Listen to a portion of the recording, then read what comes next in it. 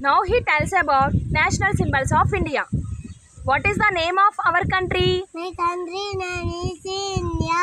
What is the capital of India? Delhi. What is the name of our state? Andhra Pradesh. What is the capital of Andhra Pradesh?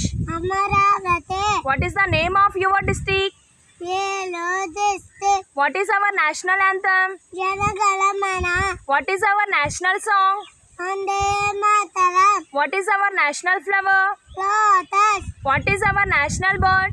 Peacock. What is our national animal? Tiger. What is our national currency? Indian rupee. What is our national fruit? Mango. What is our national tree? Banyan tree. What is our national river?